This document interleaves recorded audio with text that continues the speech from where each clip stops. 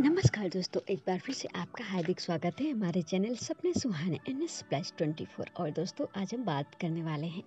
यदि कोई व्यक्ति सपने में ट्रैक्टर देखता है या ट्रैक्टर को चलाते हुए देखता है तो ये सपना उसके लिए कैसा माना जाता है?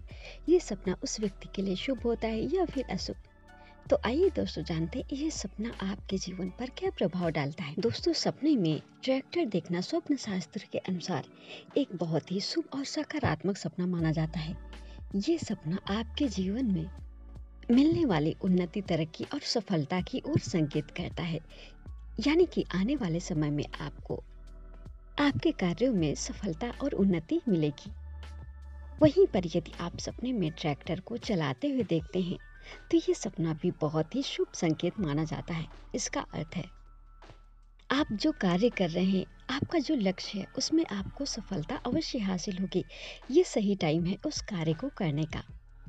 इस समय आपको वो कार्य आपको कर लेना चाहिए। और यदि आप सपने में खेत की जुताई करते हुए देखते हैं, सपने में ट्रैक्टर से तो ये सपना भी एक शुभ संकेत माना जाता है। जीवन में मिलने वाली सफलता और लाभ की ओर संकेत करता है। वहीं पर यदि आप बुआई करते हुए देखते हैं ट्रैक्टर से तो ये सपना जीवन में किसी नए कार्य के शुरू होने का संकेत माना जाता है। जीवन की नई शुरुआत का संकेत देता है।